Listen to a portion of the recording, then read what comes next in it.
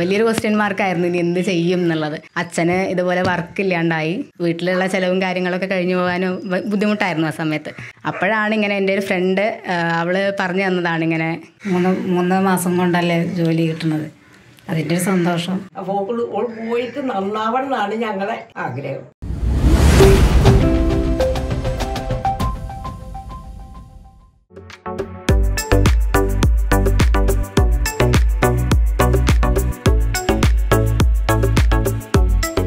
Guys നമ്മൾ ഒരു കാർഡിയനെ കാണാൻ ഇറങ്ങിയതാണ് യഥാർത്ഥത്തിൽ. പക്ഷേ ഇവിടുന്ന് നമ്മൾ പെരുന്തൽമണ്ണയിൽ നമ്മൾ അവിടെ വീട്ടിലേക്ക് പോകുന്ന വഴി വളരെ എന്താ പറയുക ഭയങ്കര നാച്ചുറാലിറ്റി ഒക്കെ ഭയങ്കര ഒരു ഗ്രാമീണതൊക്കെ നിറയുന്ന സ്ഥലത്തൂടെയാണ് നമ്മൾ യാത്ര പോയിക്കൊണ്ടിരിക്കുന്നത്. അപ്പോൾ നമ്മളിപ്പോൾ അതിന്റെ ഇപ്പോൾ റോഡ് സൈഡിൽ ഇപ്പോൾ നമ്മൾ റോഡിന്റെ സെൻട്രൽ തന്നെയാണ് ഉള്ളത്. കുറച്ച് ചെറിയൊരു പോക്കറ്റ് റോഡാണ് നിങ്ങൾക്ക് ഇതിന് ചുറ്റിലും കാണാൻ പറ്റും. നല്ല അതി- അതിമനോഹരമായിട്ടുള്ള റബ്ബർ തോട്ടങ്ങളും നല്ല വിഷ്വൽസ് ആണുള്ളത് അപ്പോൾ അത് കാണാൻ എന്താ പറയുക ഭയങ്കര എക്സ്പീരിയൻസ് ചെയ്തതിന്റെ ചെറിയ ചെറിയൊരു ആണ് കേട്ടോ വളരെ പെരിന്തൽമണ്ണ ഏകദേശം വെട്ടന്നൂർ എന്ന് പറഞ്ഞ സ്ഥലം മീൻസ് ഏകദേശം പതിനാറ് കിലോമീറ്റർ ഉള്ളോട്ടേക്കാണ്. അവിടുന്ന് കാപ്പെന്ന് പറഞ്ഞ കുറച്ച് ഉള്ളോട്ടേക്കായിട്ട് വരുന്നൊരു സ്ഥലമാണിതിപ്പോൾ അപ്പോൾ ഇവിടെ നമുക്ക് നമ്മളാൾ വെയിറ്റ് ചെയ്തിരിക്കുന്ന കാർഡിയൻ എന്ന് പറഞ്ഞാൽ വളരെ സ്പെഷ്യൽ കാർഡിയനാണ്. എന്നുവെച്ചാൽ ആൾ ഈ ഒരു ഞാൻ പറഞ്ഞതുപോലെ ഈ ഒരു സ്ഥലത്ത് ഇത്രയും ഉള്ളോട്ടുള്ളൊരു സ്ഥലത്ത് നിന്ന് വന്നിട്ട് നമ്മുടെ മെഡിക്കൽ കോഡിങ് കോഴ്സ് ചെയ്തു. ഇപ്പം ജോലിയിലോട്ടേക്ക് എത്തിയിട്ടുള്ള കാര്യങ്ങളാണ്. ഒരുപാട് വിശേഷങ്ങൾ നമുക്ക് ഈ ഒരു സ്ഥലത്തെ പറ്റിയും അല്ലെ ഈ കോഴ്സിനെ പറ്റിയും എല്ലാം നമുക്ക് ആളോട് ചോദിച്ചറിയേണ്ടതുണ്ട്. ഞാൻ പറഞ്ഞു വളരെ ഭയങ്കര ഒരു എന്താ പറയുക നൊസ്റ്റ് ഫീൽ ചെയ്യുന്ന ഒരു സ്ഥലം തന്നെയാണ് കേട്ടോ നമുക്ക് കണ്ട് മീൻസ് യാത്രയിലൊക്കെ ഒരുപാട് കാണാൻ പറ്റിയ ഒരുപാട് സ്ഥലങ്ങളുള്ള ഒരു സ്ഥലം തന്നെയാണ് തീർച്ചയായിട്ടും. നമ്മൾ വരുന്ന വഴിയൊക്കെ നമ്മൾ അത് കറക്റ്റ് അത് ഫീൽ ചെയ്ത് ഒരുപാട് വിഷ്വൽസുകൾ കണ്ടിട്ടുണ്ടാവും. അപ്പം തീർച്ചയായിട്ടും നമുക്ക് ഏകദേശം അടുത്ത ആളെ വീട്ടിലെത്താൻ ഏകദേശം ഒരു ഒന്ന് ഒന്നര കിലോമീറ്റർ കൂടെ എത്തി കഴിഞ്ഞാൽ ആളെ വീടെത്താനായിട്ടുണ്ട്. നമുക്ക് ഒരുപാട് കാര്യങ്ങൾ എന്ത് ചെയ്യണം? ആളോട് ചോദിച്ചറിയണം കോഴ്സിനെ പറ്റിയും കാടിയ കാടിയാനായിട്ട് മാറിയതിനെ പറ്റിയൊക്കെ നമുക്ക് ഒരുപാട് വിശദമായിട്ട് എന്ത് ചെയ്യണം? ആളുടെ ഫാമിലിയോടൊപ്പം നമുക്ക് എന്ത് ചെയ്യാം? ചോദിച്ചറിയാം. ഓക്കെ.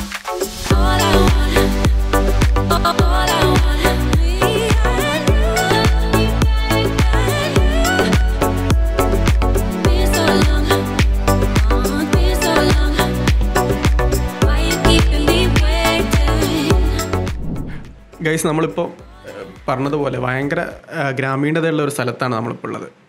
ഭയങ്കര നാച്ചുറൽ ബ്യൂട്ടിയുള്ള നമ്മൾ വരുന്ന വഴിക്ക് ഒരുപാട് വിഷ്വൽസ് കണ്ടു. നമ്മളൊരു നമ്മുടെ കാർഡിയന്റെ വീട്ടിലേക്കുള്ള ഓൺ ദ വേ ആയിരുന്നു അത്. ഏകദേശം നമ്മുടെ ഇപ്പം ആളുടെ വീട്ടിലെത്തിയിട്ടുണ്ട്. ഇല്ല നമുക്ക് ആളുടെ പേര് ശ്രീഷ്മ എന്നാണ്. നമുക്ക് ഒരുപാട് കാര്യങ്ങൾ ആളോട് ചോദിച്ചറിയാനുണ്ട്. ചോദിച്ചറിയാണ്ട് മാത്രം മീൻസ് കോഡിംഗ് ലെറ്റർ മാത്രമല്ല നമ്മുടെ ഈ ഒരു സ്ഥലത്തെ പറ്റിയും ഒരുപാട് കാര്യങ്ങൾ ചോദിച്ചു. പെരിന്തൽമണ്ണ ഏകദേശം ഒരു പതിനാറ് കിലോമീറ്റർ ഉള്ളോട്ടേക്കാണ്. അപ്പം ഈ ഒരു ഗ്രാമീണതയും എല്ലാം നമുക്ക് കൂടുതലായിട്ട് അതിനെപ്പറ്റി ചോദിച്ചറിയണം. മാത്രമല്ല കൂടി മെഡിക്കൽ കോഡിങ്ങിൽ റീസെന്റായിട്ട് ഇന്റർവ്യൂവിൽ സെലക്ട് ആയിട്ടുള്ള ആളും കൂടിയാണ് കോട്ടിവിറ്റി എന്ന് പറയുന്ന കമ്പനിയിൽ അപ്പോൾ അത് അനുബന്ധിച്ചും ഒരുപാട് കാര്യങ്ങൾ നമുക്ക് എന്ത് ചെയ്യണം? ചോദിച്ചറിയാനുണ്ട് എന്തായിരുന്നു അടുത്ത പ്രോസസ്സ് വരുന്നതും. ഒരുപാട് കാര്യങ്ങൾ മെഡിക്കൽ കോഡിങ്ങിന് ഇൻഡസ്ട്രിയിലോട്ടേക്ക് കടന്നു വരാനുള്ള കാരണങ്ങളൊക്കെ നമുക്ക് എന്ത് ചെയ്യണം? ചോദിച്ചറിയണം. ആളുടെ ഫാമിലിയും കൂടെ തന്നെയുണ്ട് ഗൈസ് നമ്മൾ പറഞ്ഞതുപോലെ നമ്മളെ അടുത്ത് ഉള്ളത് കാർഡിയനാണ്. അപ്പോൾ നമുക്ക് ആദ്യം ആളെ ഒന്ന് പരിചയപ്പെടാം. ഹായ് ഞാൻ ശ്രീഷ്മ. ഞാൻ ഇപ്പോൾ കാപ്പ് വെട്ടത്തൊരു കാപ്പാണ് താമസിക്കുന്നത്. ഞാനിപ്പോൾ B S C physics graduation കഴിഞ്ഞിരിക്കുകയാണ് അപ്പം ബി എസ് സി ഫിസിക്സ് ആണ് കഴിഞ്ഞത് അല്ലേ എവിടെയാണ് പഠിച്ചത് ബി എസ് സി ഫിസിക്സ് ഞാൻ S N D P Y S S കോളേജിലായിരുന്നു Cherukara. Okay okay.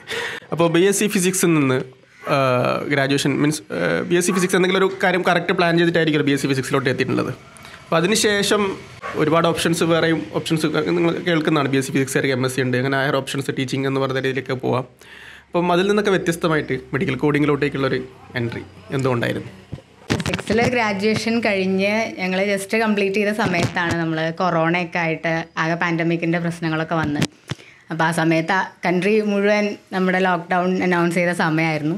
അപ്പോൾ ഒന്നും ചെയ്യാൻ പറ്റാത്ത ഫർദർ ഗ്രാജുവേഷൻസ് ഒന്നും പോസിബിൾ ആയിരുന്നില്ല ആ സമയത്ത്. അപ്പോൾ വലിയൊരു ക്വസ്റ്റ്യൻ മാർക്കായിരുന്നു ഇനി എന്ത് ചെയ്യും എന്നുള്ളത്. കാര്യം എഡ്യൂക്കേഷൻ സെക്ടറൊക്കെ ഓൾ എല്ലാം സ്റ്റക്കായി അപ്പം അച്ഛന് ഇതുപോലെ വർക്ക് ഇല്ലാണ്ടായി. വീട്ടിലുള്ള ചിലവും കാര്യങ്ങളൊക്കെ കഴിഞ്ഞു പോകാനും ബുദ്ധിമുട്ടായിരുന്നു ആ സമയത്ത്. അപ്പോഴാണ് എന്തെങ്കിലും വേറെ എന്തെങ്കിലുമൊക്കെ ആയിട്ട് ചെയ്യാം. വെറൈറ്റി ആയിട്ട് എന്തെങ്കിലും ചെയ്യാം. പെട്ടെന്നൊരു ജോബ് അങ്ങനെ എന്തെങ്കിലും ജോബ് കിട്ടുന്ന അപ്പോൾ നമ്മൾ ഫിസിക്സിൽ ഗ്രാജുവേഷനായിട്ട് മുന്നോട്ട് പോയിട്ടുണ്ടെങ്കിൽ സമയം പിടിക്കും. നമ്മളൊരു വർക്കിലോട്ട് സെറ്റായിട്ട് വരാനായിട്ട് സമയം പിടിക്കും.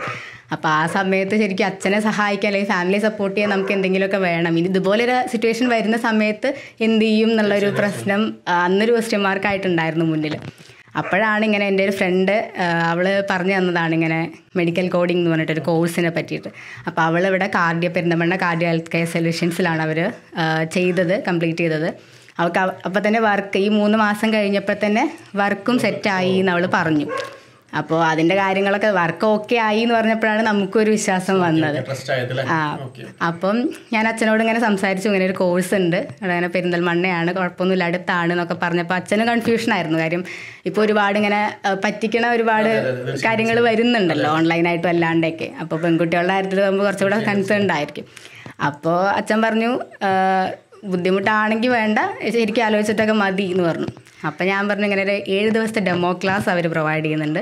അങ്ങനെയാണെങ്കിൽ അത് അറ്റൻഡ് ചെയ്തിട്ട് മതി ബാക്കിയുള്ള പ്രൊസീജിയേഴ്സൊക്കെ നോക്കുന്നതെന്ന് പറഞ്ഞു. അങ്ങനെയാണ് ഇങ്ങനെ ഡെമോ ക്ലാസ് അറ്റൻഡ് ചെയ്യാം. ഓക്കെ നീ പോയി നോക്ക് എന്ന് പറഞ്ഞിട്ട് അങ്ങനെ ഞങ്ങൾ ഫ്രണ്ട്സ് നാല് പേര് കൂടെ പോയിട്ട് ക്ലാസ് അറ്റൻഡ് ചെയ്തു. സൽമാൻ സാറാണ് ക്ലാസ് എടുത്തുകൊണ്ടിരുന്നത് സാറിന്റെ ക്ലാസ് ആകുമ്പോൾ പിന്നെ പ്രത്യേകം പറയേണ്ടി വരില്ല. പെട്ടെന്ന് ഇൻട്രസ്റ്റ് ആയി. നമുക്ക് നമുക്കൊക്കെ പറ്റും എന്നൊരു കോൺഫിഡൻസ് ആ ഒരു ഏഴ് ദിവസം കൊണ്ട് തന്നെ സാറ് ബിൽഡപ്പ് ചെയ്തെടുത്തു. അപ്പോൾ ഓക്കെ ആണ് എന്നൊക്കെ പറഞ്ഞ് അങ്ങനെ അഡ്മിഷൻ ചേർന്നു.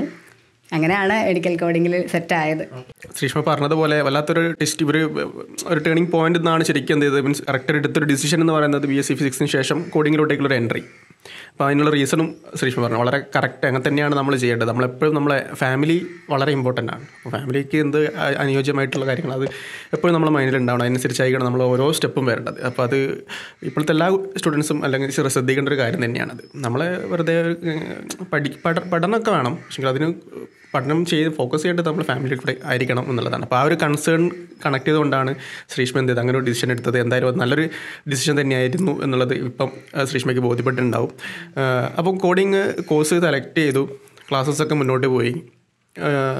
പിന്നെ എന്തായിരുന്നു പ്ലാൻ ഉണ്ടായിരുന്നത്? മീൻസ് കോഴ്സ് അറിയാം മെഡിക്കൽ കോഡിങ്ങിലെ സർട്ടിഫിക്കേഷൻസ് വരുന്നുണ്ട്. അപ്പം അതൊരു ഓപ്ഷനായിട്ട് പോകാം അല്ലെങ്കിൽ അല്ലാതെയും മീൻസ് സർട്ടിഫിക്കേഷൻ ഇല്ലാതെയും ജോബ് ഓപ്ഷനിലേക്ക് കയറാം അപ്പം ഇങ്ങനെ മീൻസ് മൂന്ന് മാസം കോഴ്സ് ഇപ്പം ഓൾമോസ്റ്റ് കഴിയാറായി. കയ്യാറായ സമയത്ത് എന്തായിരുന്നു തോന്നിയത്? അല്ലെങ്കിൽ ത്രൂ ഔട്ട് ദ കോഴ്സ് ആ ഒരു ഡെമോ ക്ലാസ്സിന് ശേഷവും throughout the course start ചെയ്തതിന് ശേഷവും സെയിം ആ ഒരു ഡെമോ ക്ലാസ്സിന്റെ ഫീൽ തന്നെയായിരുന്നു? അല്ലെങ്കിൽ പഠിക്കാൻ എന്തെങ്കിലും തരത്തിലുള്ള ഡിഫിക്കൽട്ടീസ് ഉണ്ടായിരുന്നോ എന്നുള്ള കാര്യങ്ങളൊക്കെ പറയാം. എനിക്ക് പൊതുവെ അങ്ങനെ സയൻസ് ബാക്ക്ഗ്രൗണ്ട് എന്ന് ഞാൻ എടുത്ത് പറയുന്നില്ല കാര്യം ക്ലാസ് അറ്റൻഡ് ചെയ്ത് കഴിഞ്ഞിട്ടുണ്ടെങ്കിൽ നമുക്ക് എല്ലാ ബാക്ക്ഗ്രൗണ്ടിൽ നിന്ന് വരുന്നത് ഇപ്പോൾ ടെൻത്ത് ബേസ് വരെ എല്ലാവരും ബയോളജി ഒക്കെ എടുത്തിട്ട് പഠിക്കുന്നവരാവുമല്ലോ. അപ്പോൾ അങ്ങനത്തെ പ്രയാ സബ്ജക്റ്റ് വൈസ് പ്രയാസങ്ങളൊന്നും ഉണ്ടായിരുന്നില്ല. പിന്നെ I C D C P T അതിലോട്ടൊക്കെ വരുമ്പോഴേ നമുക്ക് എന്തെങ്കിലും ബുദ്ധിമുട്ടുണ്ടോ? അങ്ങനെയൊക്കെ ഒരു ഡൗട്ട് വരത്തുള്ളൂ. പക്ഷേ ആ സമയത്തൊന്നും നമ്മൾ പഠിക്കുന്ന സമയത്ത് അങ്ങനെ ബുദ്ധിമുട്ടായിട്ടൊന്നും തോന്നിയിരുന്നില്ല. പിന്നെ മൂന്ന് മാസത്തെ കോഴ്സ് അറ്റൻഡ് ചെയ്ത് കഴിഞ്ഞ് ആ സമയത്താണ് ഇങ്ങനെ ഇന്റർവ്യൂസ് അറ്റൻഡ് ചെയ്യാം എന്നുള്ള രീതിയിൽ കാര്യം നമുക്കിപ്പോൾ അത്യാവശ്യമായിട്ടൊരു ജോലിയായിരുന്നു വേണ്ടിയിരുന്നു അപ്പോൾ സി പി സി ഫോക്കസ്ഡ് അല്ലായിരുന്നു ഞാൻ. അങ്ങനെ ഒരു ജോലി കിട്ടിയിട്ട് അതിൽ നിന്നുള്ള വരുമാനം കൊണ്ട് നമുക്ക് സി പി സിയും കൂടെ സർട്ടിഫിക്കേഷനും കൂടെ എടുക്കാം എന്നാണ് വിചാരിച്ചിരുന്നത്. അപ്പം അങ്ങനെയാണ് ഇന്റർവ്യൂസ് അറ്റൻഡ് ചെയ്തത്. അത് ഒന്ന് രണ്ട് ഇന്റർവ്യൂ ആദ്യം അറ്റൻഡ് ചെയ്തു. അതിലൊന്നും നമ്മൾ എന്തോ റിജക്റ്റ് ആയി. നമ്മുടെ പോരായ്മ കൊണ്ട്. അപ്പോൾ അതിന്ന് സത്യം പറഞ്ഞാൽ ആ പോരായ്മകളാണ് ശരിക്കും ഈ പ്രാവശ്യത്തെ ഇന്റർവ്യൂവിൽ എന്നെ മികച്ചതാക്കിയത് എന്നാണ് ഞാൻ വിശ്വസിക്കുന്നത്. നമ്മുടെ ഓരോ ഇന്റർവ്യൂ എന്ന് പറയുന്നത് ലേണിംഗ് തന്നെയാണ്. ഇൻ കേസ് നമുക്ക് എന്തെങ്കിലും കിട്ടാത്തതുണ്ടെങ്കിൽ തൊട്ടടുത്ത് ഇമ്പ്രൂവ് ചെയ്യുക എന്നുള്ളത് തന്നെയാണ്. അപ്പോൾ ആ ഒരു ഇമ്പ്രൂവ്മെന്റ്സ് അല്ലേ അല്ലെങ്കിൽ നമ്മൾ എവിടെ സ്റ്റക്കായി നിൽക്കുന്നല്ല അല്ലെങ്കിൽ മതി.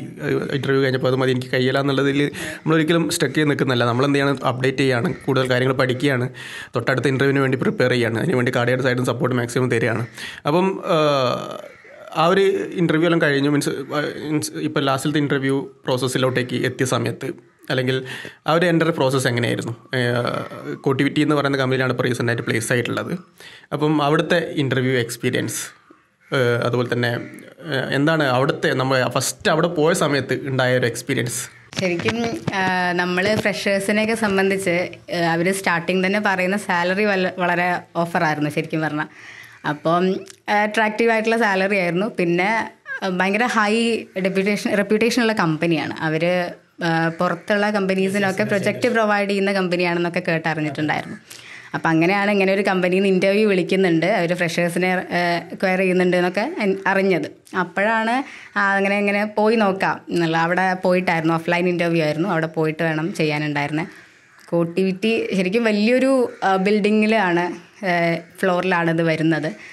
നമ്മൾ ശരിക്കും സർപ്രൈസ്ഡ് ആയിപ്പോയി അവിടെ സത്യം പറഞ്ഞാൽ ചെന്ന സമയത്ത്. കാര്യം വലിയൊരു കമ്പനി നമ്മൾ ഇങ്ങനെ ഒരു ഇൻസ്റ്റിറ്റ്യൂട്ടിൽ നിന്ന് നമ്മൾ ഇങ്ങനെ എത്തിപ്പെടും എന്നുള്ള വിചാരമൊന്നും അപ്പം ഉണ്ടായിരുന്നില്ല. അപ്പോൾ സത്യം പറഞ്ഞാൽ അവിടെ ചെന്ന ഓരോ കാൻഡിഡേറ്റ്സും ശരിക്കും സ്വപ്നം കണ്ടാണ്. അവിടെ വർക്ക് ചെയ്യാൻ പറ്റിയിരുന്നെങ്കിൽ എനിക്ക് തോന്നുന്നു ഇപ്പം ഞങ്ങൾ അറ്റൻഡ് ചെയ്ത ഇന്റർവ്യൂസിനൊക്കെ ഭയങ്കര എന്താ പറയുക കിട്ടണം എന്ന് നമുക്ക് തോന്നി അങ്ങനെ സ്വപ്നം കണ്ടുപോകുന്ന ഒരു കമ്പനി അറ്റ്മോസ്ഫിയർ ആയിരുന്നു അത്.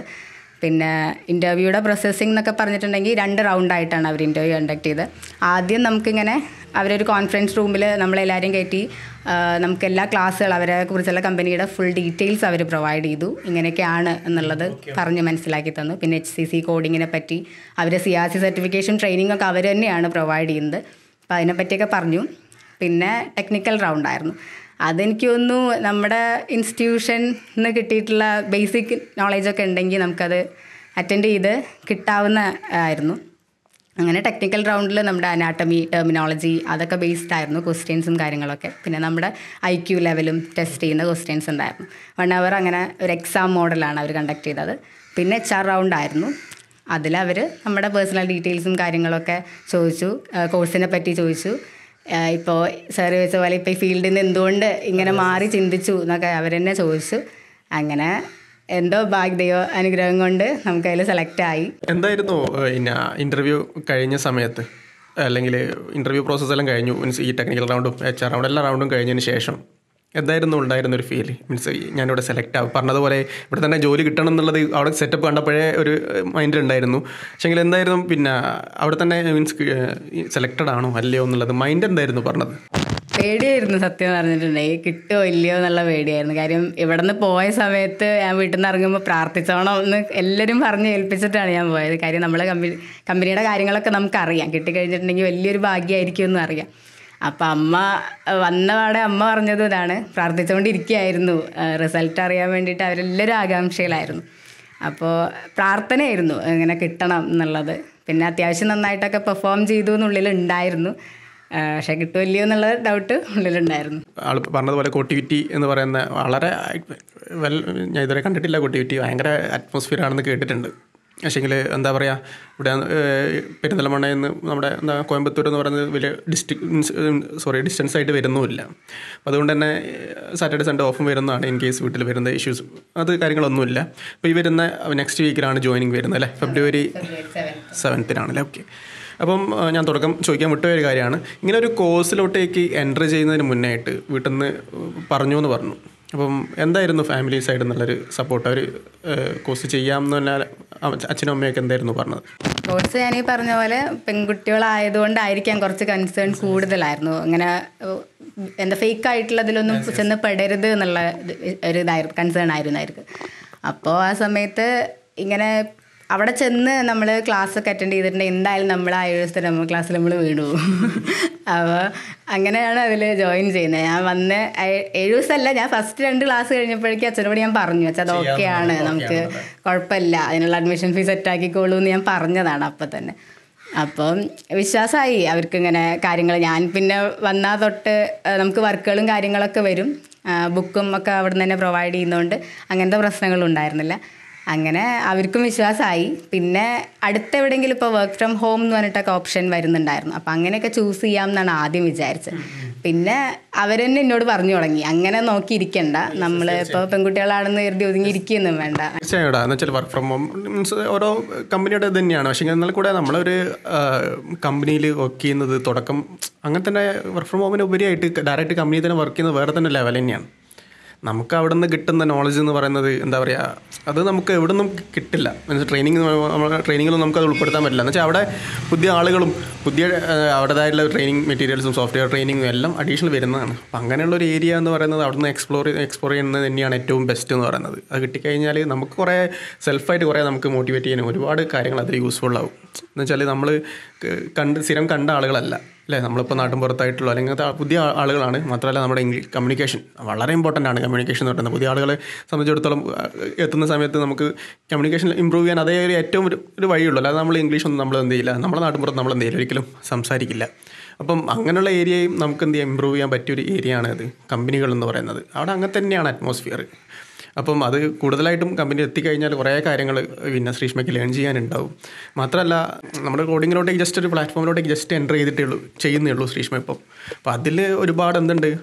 ഹയറാർക്കൽ ലെവൽസ് ഉണ്ട്. അപ്പോൾ ആ ഒരു ലെവൽസിലോട്ടേക്കെല്ലാം എത്രയും പെട്ടെന്ന് പോകണം. ഏറ്റവും നല്ല പാക്കേജ് കൊടുക്കുന്ന ഒരു കമ്പനി തന്നെയാണ്. അതുകൊണ്ട് തന്നെ അവർ അഡീഷണൽ സി ആർ സിയുടെ സർട്ടിഫിക്കേഷൻ സ്പോൺസർ ചെയ്യുന്നുണ്ട്. മാത്രമല്ല സി പി സി ആണെങ്കിൽ സി പി സിയും അഡീഷണൽ എന്ത് ചെയ്യാം? എടുക്കാനുള്ള ഓപ്ഷൻസ് ഉണ്ട്. അപ്പം തീർച്ചയായിട്ടും കൂടുതൽ ഹയർ ലെവലിലേക്ക് എത്രയും പെട്ടെന്ന് തന്നെ എന്ത് ചെയ്യണം? കയറി കയറി പോകണം. മീൻസ് അത് വളരെ കണ്ണിങ് ആയിരിക്കണം ഓരോ സ്റ്റെപ്പും ഇനി വെക്കേണ്ട സ്റ്റെപ്പുകൾ എന്ന് വെച്ചാൽ നമ്മൾ ജോലി കിട്ടി അല്ലെങ്കിൽ സെലക്ട് ആയി അവരെ ജോലി ചെയ്ത് കഴിഞ്ഞാൽ നമ്മളെ റെസ്പോൺസിബിലിറ്റി കഴിയുന്നല്ല നമുക്ക് അവിടെ എന്ത് ചെയ്യണം? ഗ്രോത്ത് വരണം. അപ്പോൾ അതിന് വേണ്ടിയിട്ടുള്ള സ്റ്റെപ്പുകൾ മുന്നോട്ടേക്ക് എന്ത് ചെയ്യുക? എപ്പോഴും മുന്നോട്ടേക്ക് മുന്നോട്ടേക്ക് എടുത്തു വെക്കുക. ഒരുപാട് കാര്യങ്ങൾ നമ്മൾ ചോദിച്ചറിഞ്ഞു. അപ്പോൾ ചോദിച്ചറിഞ്ഞത് കമ്പനിയെ പറ്റിയും ഇന്റർവ്യൂ പ്രോസസ്സിനെ പറ്റിയൊക്കെ ചോദിച്ചറിഞ്ഞു. ഇനി നിങ്ങൾ തിരഞ്ഞ ശ്രീഷ്മ തിരഞ്ഞെടുത്തില്ല കാർഡിയൽക്ക് സൊല്യൂഷനെ പറ്റി ഈ കോഴ്സ് തിരഞ്ഞെടുക്കാനും അതുപോലെ തന്നെ ഓവറോളായിട്ട് കാർഡിയക്കുള്ള സ്കോറും എങ്ങനെയാണെന്നുള്ളതെന്ന് ഷെയർ ചെയ്യാം കാർഡിയൻസ് ശരിക്കും പറഞ്ഞാൽ വേറെ വൈബാണ് ഒന്നും പറയാനില്ല. സത്യം പറഞ്ഞാൽ ചെന്ന് കയറുമ്പോൾ നമുക്കിപ്പോൾ സാധാരണ സാർ എന്നൊക്കെ പറയുമ്പോൾ ഒരു കൺസേൺ പേടിയും കാര്യങ്ങളൊക്കെ ആയിരിക്കും. പ്രത്യേകിച്ച് നമുക്ക് അറിയാത്തൊരു മേഖലയാണ്. എങ്ങനെയൊന്നും അറിയില്ല. അപ്പോൾ സാറ് ശരിക്കും പറഞ്ഞാൽ ഭയങ്കര സപ്പോർട്ട് ചെയ്യാം. ഞങ്ങളൊക്കെ ഒരു ഇന്റർവ്യൂ അറ്റൻഡ് ചെയ്യുന്ന സമയത്ത് ഞങ്ങളെക്കാൾ ടെൻഷനും പ്രാർത്ഥനയും സാറിനായിരിക്കും അതേപോലെ അവിടുത്തെ ഫ്രണ്ട്സ് കാര്യങ്ങൾ എനിക്കൊരു മൂന്ന് വർഷം ഞാൻ ഡിഗ്രിക്ക് പഠിച്ചതിനേക്കാൾ കൂടുതൽ ഞാൻ എൻജോയ് ചെയ്തിട്ടുണ്ട് ഇവിടെ വന്നിട്ട്. അപ്പോൾ പഠിത്തത്തിന് പഠിത്തവും അതേപോലെ എന്റർടൈൻമെന്റ് എന്റർടൈൻമെന്റ്സും ഞങ്ങൾ ഞങ്ങൾ ഓഫ്ലൈൻ ബാച്ച് ആയതുകൊണ്ട് കുറച്ചും കൂടെ കൂടുതൽ കാര്യങ്ങൾ നേരിട്ടായിരുന്നുകൊണ്ടൊക്കെ വളരെ സന്തോഷമായിരുന്നു ഈ ഒരു മൂന്ന് മാസം ശരിക്കും ലൈഫിൽ ഒരിക്കലും മറക്കാൻ പറ്റാത്ത മെമ്മറീസ് അവിടെ നിന്ന് കിട്ടിയിട്ടുണ്ട് എനിക്ക് ശേഷം വരുന്ന ആ ഒരു സമയം കൊണ്ട് ആയതുകൊണ്ട് തന്നെ നമുക്ക് കരിയർ ഫോക്കസ്ഡ് ആണ്. മാത്രമല്ല എൻജോയ്മെന്റും കൂടെ നമ്മുടെ മൈൻഡിൽ ഉണ്ടാവും. അപ്പോൾ അതും കൂടെ എന്റർടൈൻമെന്റും കൂടെ പ്ലസ് ചെയ്തുകൊണ്ട് തന്നെയാണ് ആ ഒരു സിലബസ് സൽമാൻ സാർ കംപ്ലീറ്റ് ചെയ്തിരിക്കുന്നത്. മീൻസ് കംപ്ലീറ്റ് അറേഞ്ച് ചെയ്തിരിക്കുന്നത്. അപ്പോൾ അത് നല്ല രീതിയിൽ തന്നെ ഫുൾഫിൽ ചെയ്യുക എന്നുള്ളത് തന്നെയാണ്. മാത്രം മറ്റൊരു ക്വസ്റ്റ്യൻ കൂടെ നമ്മൾ ഒരുപാട് ആളുകൾ ഇതിലോട്ടേക്ക് എൻട്രി എൻക്വയറി ചെയ്യുന്ന സമയമാണ്. അപ്പം കോഡിങ് സെലക്ട് ചെയ്യണോ അല്ലെങ്കിൽ പഠിക്കാൻ പറ്റുമോ അങ്ങനെ സംശയങ്ങൾ ഒരുപാട് പേർക്ക് ഇപ്പോഴും ഉണ്ട്. അതിപ്പം മെഡിക്കൽ ബാക്ക്ഗ്രൗണ്ട് ആവട്ടെ non medical background means different ആളുകൾ ചോദിക്കുന്ന സമയത്ത് അവർക്കൊക്കെ സംശയമാണ് ചെയ്യാൻ പറ്റുമോ എന്നുള്ളത്. അപ്പം മീൻസ് ചെയ്തിട്ട് ജോലി കിട്ടുമോ അല്ലെങ്കിൽ ഇതിലോട്ടേക്ക് കയറി വരാൻ പറ്റുമോ എന്നുള്ള കാര്യങ്ങൾ. അപ്പോൾ അതിനെപ്പറ്റി എന്താണ് ശ്രീഷ്മ പറയാൻ ഞാൻ പറഞ്ഞല്ലേ ഈ പറയുന്ന ഡൗട്ടൊക്കെ എനിക്കും ആദ്യം ഉണ്ടായിരുന്നതാണ്. പിന്നെ ഞാൻ എന്റെ ഫ്രണ്ട് പ്ലേസ്ഡ് ആയി എന്ന് പറഞ്ഞപ്പോഴാണ് ഞാനും ചേർന്നത്. ഓക്കെ ജോബ് കിട്ടും എന്നുള്ള ഉറപ്പുള്ളതുകൊണ്ടായിരുന്നു ഇങ്ങനെ ചേർന്നത്. പിന്നെ ഞാൻ ഇപ്പോൾ ഇതിന് ചേർന്നിട്ട് തന്നെ കുറേ ഫ്രണ്ട്സിന് ഞാൻ അങ്ങോട്ട് റെക്കമെൻഡ് ചെയ്യുമായിരുന്നു ഇങ്ങനെ ഒരു കോഴ്സ് ഉണ്ട്. കുഴപ്പമില്ല ക്ലാസ് ഒക്കെ ഓക്കെയാണ് നല്ല അറ്റ്മോസ്ഫിയറും കാര്യങ്ങളൊക്കെയാണ് പിന്നെ പ്ലേസ്ഡ് ആവുന്നുണ്ട് കുട്ടികൾ കുഴപ്പമൊന്നുമില്ല. പക്ഷെ അപ്പോഴൊന്നും അവർക്ക് കാര്യം ഇത് അപ്പോഴും വിശ്വസിക്കാൻ കഴിയുന്നില്ല. ഞാൻ അപ്പം സെറ്റ് അല്ലല്ലോ അപ്പോൾ അവർക്ക് വിശ്വാസം വരുന്നുണ്ടായിരുന്നില്ല. ഇപ്പം ഞാൻ പ്ലേസ്ഡ് ആയി എന്ന് പറഞ്ഞപ്പോൾ അവരൊക്കെ അങ്ങോട്ട് പറഞ്ഞവരൊക്കെ ഇപ്പം ഇങ്ങോട്ട് അപ്രോച്ച് ചെയ്യുന്നുണ്ട്. കാര്യങ്ങളും ഡീറ്റെയിൽസും കോഴ്സിന്റെ കംപ്ലീറ്റ് ഡീറ്റെയിൽസ് ഒക്കെ അവർ ചോദിക്കുന്നുണ്ട്. അപ്പം എനിക്ക് അറിയാനുള്ള എന്താ വെച്ചാൽ ഞാൻ പ്ലേസ്ഡ് ആയിട്ടുണ്ട്. കാര്യം എനിക്കിതിൽ വിശ്വാസം ഉണ്ടായിരുന്നു. അങ്ങനെ ഇപ്പോൾ പ്ലേസ്ഡ് ആയി. സന്തോഷമുണ്ട് ഒരുപാട് സന്തോഷമുണ്ട്. ഇപ്പോൾ ഏതെങ്കിലും വേറെ ഡിഗ്രി ഒക്കെ എടുത്തിരിക്കുന്ന കുട്ടികൾക്ക് ഇങ്ങനെ ഒരു സംശയം ഉണ്ടാവും. ഇപ്പോൾ ഹെൽത്ത് സയൻസോ അങ്ങനെ എന്തെങ്കിലും ഇതിന് മസ്റ്റ് ആണോ? അങ്ങനെയൊന്നുമില്ല. നമുക്ക് ബേസിക് ആയിട്ട് പഠിക്കാൻ പറ്റുന്ന കാര്യങ്ങളൊക്കെ തന്നെയുള്ളൂ. പിന്നെ ആർക്കു വേണേലും കവറപ്പ് ചെയ്യാവുന്ന പോർഷൻസും കാര്യങ്ങളൊക്കെയാണ്. അങ്ങനെയുള്ള ബുദ്ധിമുട്ടുകളൊന്നുമില്ല. പറഞ്ഞതുപോലെ നമ്മുടെ കാർഡിയൻ ശ്രീഷ്മയുടെ അമ്മയും കൂടെ തന്നെയുണ്ട്. അല്ലേ? നമ്മൾ ഒരുപാട് കാര്യങ്ങൾ ശ്രീഷ്മയോട് ചോദിച്ചു. അപ്പോൾ നമുക്ക് കുറച്ച് കാര്യങ്ങൾ അമ്മയോട് ചോദിക്കാം. എന്തുകൊണ്ടാണ് ശ്രീഷ്മ ഈ ഒരു കോഴ്സ് സെലക്ട് ചെയ്യാൻ പോയ സമയത്ത് ഫാമിലി സൈഡിൽ നിന്ന് ഉണ്ടായിട്ടുള്ള റെസ്പോൺസ് എങ്ങനെയായിരുന്നു എന്നുള്ള കാര്യങ്ങളൊക്കെ നമുക്ക് എന്ത് ചെയ്യാം? അമ്മയോടൊന്ന് നേരിട്ട് ചോദിച്ചു നോക്കാം. വളരെ സന്തോഷമുണ്ട്. ഒരു കോഴ്സ് മൂന്ന് മൂന്ന് മാസം കൊണ്ടല്ലേ ജോലി കിട്ടുന്നത്. അതിന്റെ ഒരു സന്തോഷം. ഓക്കെ അപ്പോൾ തീർച്ചയായും ഈ ഒരു കോഴ്സ് ഇൻട്രൊഡ്യൂസ് ചെയ്ത് ശ്രീഷ്മ വരുന്ന സമയത്ത് എന്തായിരുന്നു മൈൻഡിലുണ്ടായിരുന്നത് ഏഹ് ചെയ്ത് മീൻസ് ഇങ്ങനെ ഒരു കോഴ്സിനെ പറ്റി കേട്ടിട്ടുണ്ടാവില്ല എന്നുള്ളത് ഉറപ്പാണ്. അപ്പം ഇത് ചെയ്ത് കഴിഞ്ഞാൽ ജോലി കിട്ടുമോ? അല്ലെങ്കിൽ അങ്ങനത്തെ സംശയങ്ങളൊക്കെ ഉണ്ടായിരുന്നു? അല്ലെങ്കിൽ എന്തെങ്കിലും തരത്തിൽ തട്ടിപ്പായിരിക്കുമോ എന്നൊക്കെ സംശയം ഉണ്ടായിരുന്നു? ആദ്യം ഉണ്ടായിരുന്നു. പിന്നെ അങ്ങനെ ഇവിടെ ഏഴ് ഏഴ് ദിവസത്തെ അങ്ങനെ ഇതിന് പോയപ്പോൾ എല്ലാം മാറി. കുഴപ്പമില്ല എന്ന് പറഞ്ഞോളെ ഈ മെഡിക്കൽ കോഡിങ്ങിന്റെ ഒരു പ്രത്യേകത എന്താണെന്ന് വെച്ചാൽ ഫസ്റ്റ് കേൾക്കുന്നവർക്ക് ഒരു സംശയമാണ്. എന്താണ് ഈ സംഭവം എന്നുള്ളത്? ആദ്യം കേൾക്കാത്തൊരു ഏരിയ തന്നെയാണ് മെഡിക്കൽ മെഡിക്കൽ എന്ന് കേട്ടിട്ടുണ്ടെങ്കിലും കോഡിങ്ങും ഇതിനെ കണക്ട് ചെയ്തുകൊണ്ട് കേട്ടിട്ടുണ്ടാവില്ല. അപ്പോൾ അതുകൊണ്ടുള്ള ഒരു പ്രശ്നമായിരിക്കും തുടക്കം മുതൽ തുടക്കം ആ ഒരു പറഞ്ഞ സമയത്ത് ഉണ്ടാവുക. അപ്പോൾ എന്തായാലും ഫാമിലിയുടെ സൈഡിൽ നിന്ന് ജോലി കിട്ടിയതിന് ശേഷം എന്താണ് റെസ്പോൺസ് അച്ഛന്റെ സൈഡിൽ നിന്നാണെങ്കിലും ഫാമിലി സൈഡിൽ നിന്നാണെങ്കിലും സെലക്ട് ആയി എന്ന് പറഞ്ഞ സമയത്ത് എന്ത് തോന്നി നമുക്ക്? ഭയങ്കര സന്തോഷം. വളരെയധികം സന്തോഷം തോന്നി. അച്ഛനൊക്കെ എന്ത് പറഞ്ഞു? അച്ഛനും അതെ. അതെ. നല്ല സന്തോഷമായി. ഫാമിലി സൈഡിൽ നിന്നൊക്കെ? ഫാമിലി സൈഡും എല്ലാവരും സന്തോഷമായി. ഓക്കെ പോയി വർക്ക് ചെയ്യാനും സന്തോഷം ഓക്കെ ഓക്കെ ഇപ്പം കമ്മിങ് അടുത്ത് തന്നെ ആയതുകൊണ്ട് തന്നെ ബുദ്ധിമുട്ടില്ല. അതെ അതെ അതെ അതെ. വലിയ കിലോമീറ്റേഴ്സ് ഇല്ല. പെരിന്തൽമണ്ണയിൽ നിന്ന് അധികം ദൂരം വരുന്നില്ല. കഴിഞ്ഞാൽ കോയമ്പത്തൂർ എത്തി ഓൾമോസ്റ്റ് അപ്പോൾ അതുകൊണ്ട് തന്നെ സാറ്റർഡേ സൺഡേ ഒക്കെ വീട്ടിലേക്ക് വരികയും ചെയ്യാം. അപ്പം നമ്മുടെ ലൈഫിലേക്ക് സെറ്റിംഗ് ഒരു ടേണിംഗ് പോയിന്റ് തന്നെയാണ്. അതുകൊണ്ട് തന്നെ ആ ഒരു എക്സൈറ്റ്മെന്റ് മൊമെന്റ് ഞാൻ ശ്രീഷ്മയോട് നേരിട്ട് സംസാരിച്ചത് അതുകൊണ്ട് തന്നെയാണ് നേരിട്ട് വന്നിട്ട് ഈ ഒരു എക്സ്പീരിയൻസും കാര്യങ്ങളൊക്കെ ഷെയർ മീൻസ് നിങ്ങളുടെ നിന്ന് എടുക്കാമെന്ന് വിചാരിച്ചത്. അപ്പോൾ എന്തായാലും വളരെ താങ്ക്സ് ഉണ്ട് ഈ ഒരു സമയം. ഒരുപാട് കാര്യങ്ങൾ അമ്മയും ഷെയർ ചെയ്തിട്ടുണ്ട്. ശ്രീഷ്മ ഒരുപാട് കാര്യങ്ങൾ നമ്മൾ ഇമ്പോർട്ടന്റ് ആയിട്ടുള്ള ഒരുപാട് കാര്യങ്ങൾ എന്നുവെച്ചാൽ ഈ ഒരു കോഴ്സിലോട്ടേക്ക് തിരഞ്ഞെടുക്കുന്ന ആളുകൾക്ക് ഒരുപാട് സംശയങ്ങൾ ഇപ്പോഴും ഉണ്ട്. ഇപ്പോൾ ജോബ് ഓറിയന്റ് ആയിട്ടുള്ള കാര്യങ്ങളിലേക്കും കോഴ്സിനെ പറ്റിയുള്ളവർക്ക് അവർക്കെല്ലാം ഒരുപാട് ഡൗട്ട് ഇതിൽ നിന്ന് എന്ത് ചെയ്യും? ക്ലിയർ ആകും അതുകൊണ്ട് തന്നെയാണ് നമ്മൾ ഡയറക്റ്റ് ഇങ്ങനത്തെ ഒരു സെഷൻസ് എന്ത് ചെയ്യുന്നത് മാക്സിമം അറേഞ്ച് ചെയ്യുന്നത്. എന്തായാലും ശ്രീഷ്മയ്ക്കും അമ്മയ്ക്കും സ്പെഷ്യൽ താങ്ക്സ് പറയാണ്. അതിൽ പ്രത്യേകമായിട്ട് ചായ സൽക്കാരവും കാര്യങ്ങളൊക്കെ തന്നിട്ടുണ്ട്. അതിനും പ്രത്യേകമായിട്ട് താങ്ക്സ് പറയാണ്. ഓക്കെ താങ്ക് യു ആരും പ്രത്യേകം പറഞ്ഞു കൊടുത്തിട്ടൊന്നും ഒക്കെ ഒരു പഠിപ്പും വേണ്ട. എല്ലാ ഓളൊക്കെ അറിയാം. അറിയാലോ? ആ അറിയാം. അപ്പൊ അതുകൊണ്ട് അതുകൊണ്ട് എല്ലാത്തിനും നന്ദി. നമസ്കാരം നിങ്ങൾക്ക് ഏ? അപ്പൊ ഓൾ പോയിട്ട് നന്നാവണം എന്നാണ് ഞങ്ങളെ ആഗ്രഹം. തീർച്ചയായും തീർച്ചയായും.